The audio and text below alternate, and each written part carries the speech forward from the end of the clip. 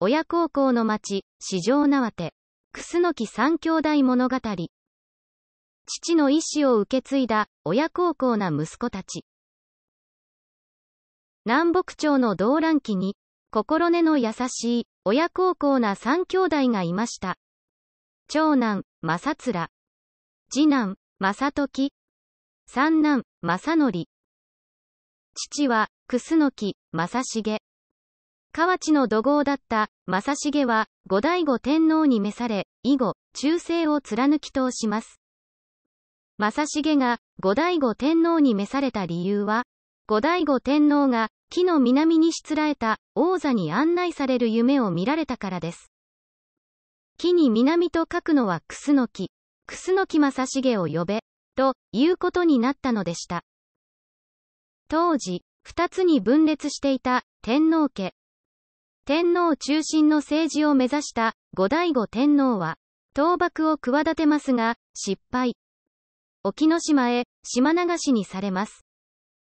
そんなピンチの時も、この正成一人がまだ生きているとお聞きになられたならば、星雲は開かれたと思ってくださいませ。と、後醍醐天皇にエールを送ります。悪党的な正成は、地元の農民や野武山伏などと連携し、奇策、地望を用いて、後醍醐天皇を支えます。悪党とは、幕府や朝廷の支配力が及ばない人たちのことです。正成の応援を心強く、再起を図った後醍醐天皇は、幕府に不満を持つ武士たちを集め、再び倒幕へ。正成に賛同した足利尊氏や新田義貞も挙兵。ついに、鎌倉幕府を倒しました。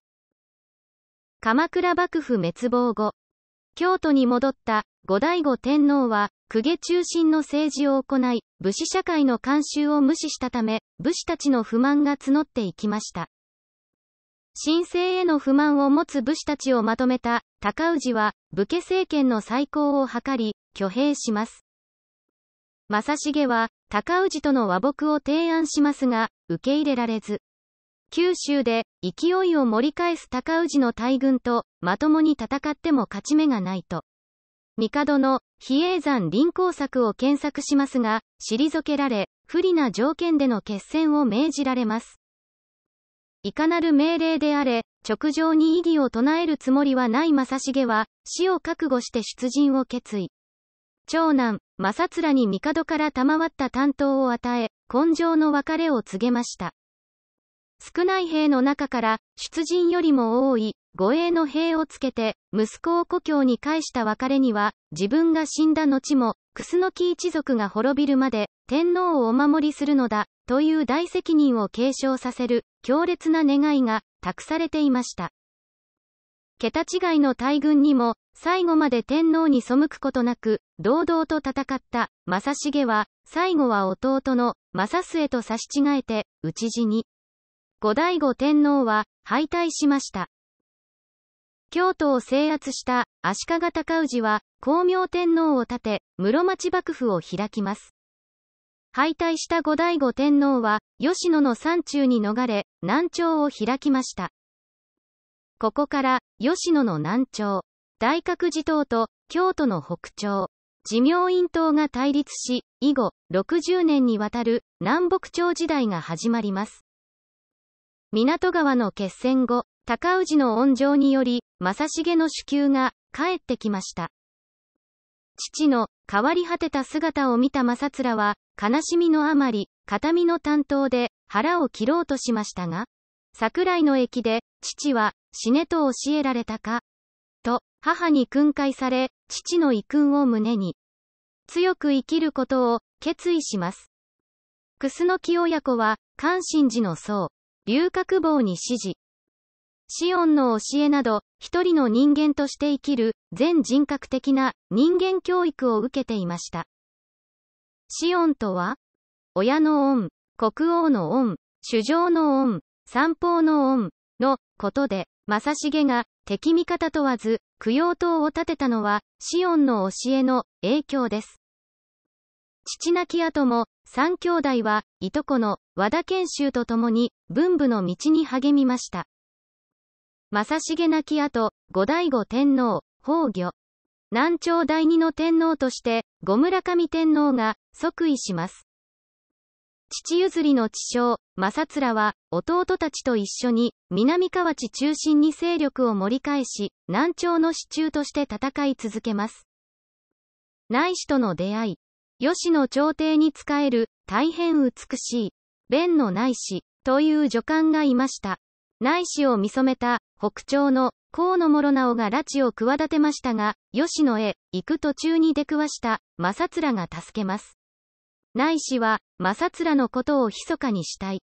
後に、二人のことを知った、後村上天皇から、内氏を、正面の妻に、とのお言葉がありましたが、とても世に、ながらうべくもあらぬ身の、仮のちぎりを、イカで結ばん。死を、覚悟の戦いを決意した身で、妻を迎えるわけにはいきません。と、正面は辞退します。北朝は、勢力を増す、楠木軍たちを恐れ、討伐軍を繰り出しますが、いずれも敗退。渡辺橋の合戦でも、楠木軍は勝利しますが、この時、正面は父、正成と同じように、怪我人や、川で溺れた敵兵を助け、手厚く解放して返します。その恩に報いていこうと決意した兵が、後日、楠木軍に加わっていきました。天下国家、平和の戦いゆえ、溺れる兵を打ち負かす必要なし。明治に入り、日本赤十字は、正面の渡辺橋の美談を紹介し、国際赤十字から加盟を認められました。楠木軍の勢力増大に、ついに、足利尊氏が、楠木正面、討伐を決意します。本当は和睦したい正面と高氏。正面は父、正成と同様、和睦や大軍を迎え撃つ戦略を権限しますが、受け入れられず、死を覚悟の出陣を決めます。戦いの前に、吉野の皇居へ、後村上天皇に拝謁、滅多にあげることのない、ミスをあげて、正面らに、汝は故郷の神、必ず生きよ。と、お声をかけられましたが、正面たちの決死の覚悟は変わりませんでした。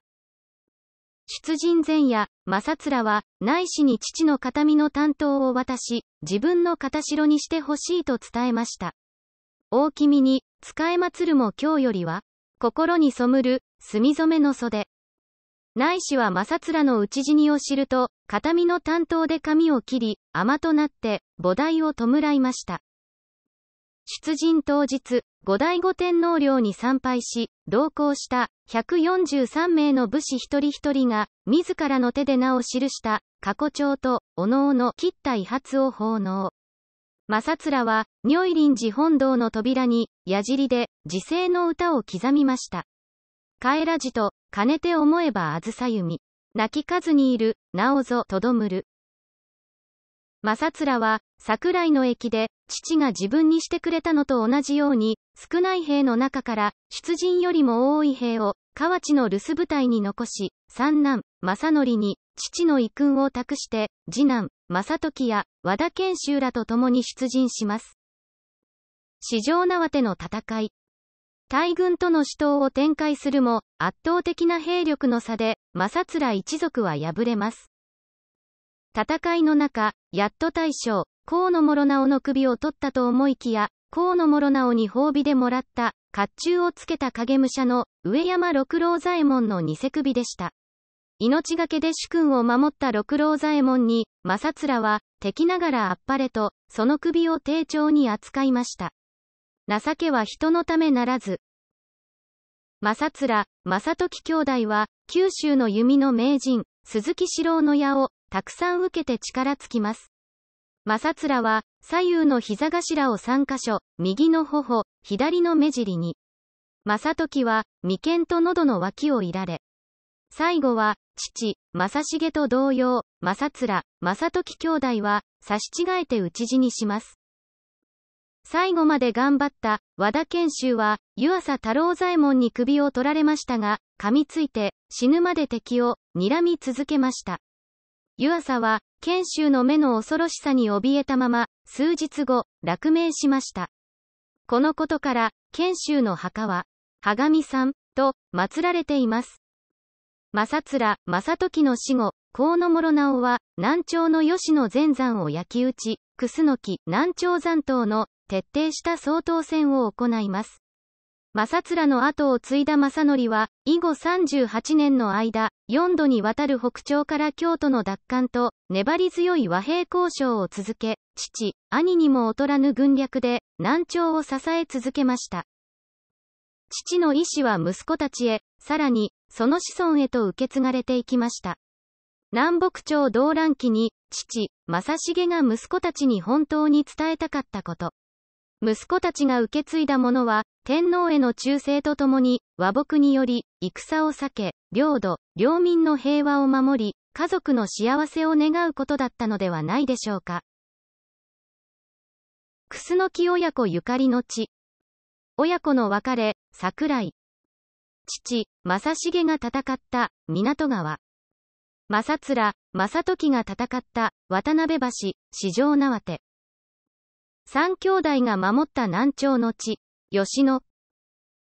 四条縄手神社。南北朝時代、四条縄手の合戦で、足利軍との戦いに敗れた、楠木正面と、その一族の将士、24人を祀る神社です。三親神社。四条縄手神社、拝殿すぐ左の拙者。楠木三兄弟の母、久子が祀られています。四条縄手神社にある、桜井の別れの場面を表している、正成、正面親子の像です。桜井の駅で、父は、死ねと教えられたか母、久子に諭されている、11歳の正面の像です。同じく、四条縄手神社にあります。湘南皇后墓所。楠木正面の墓所。楠木正面の供養塚に植えられた楠木は、樹齢500年以上、幹の周り、12メートルに及ぶ大木に成長し、大阪府の天然記念物に指定されています。また、楠木は、四条縄手市の木にも指定されています。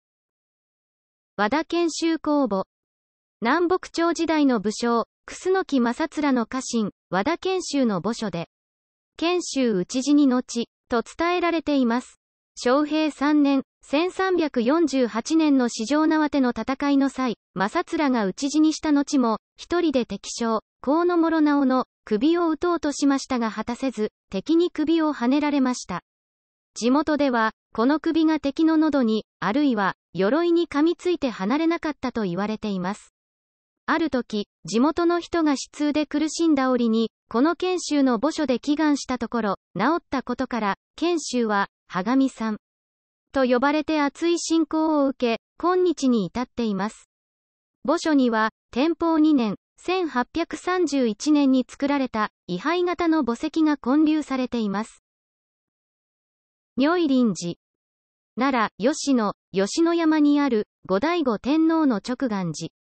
正面公が、四条縄手の決戦へ出発にあたり、矢尻をもって、自世の歌を記された如意林道の扉や、父の形見の担当などが、宝物として保管されています。弁の内氏の四条塚。弁の内氏が、正面公討ち死にの後、菩提を弔うために二層となり、その黒髪を埋めた場所です。機会があれば、歴史を物語る場所に訪れてみるのも楽しいですね。市場縄手、ゆかりの偉人を再発見してみてください。絵と文。イラストライター、小ゆり。監修。市場縄手、楠木正面の会。代表、大木谷、明。歴史家、城郭石垣研究家、吉信、克行。制作。株式会社、はじめフーズ。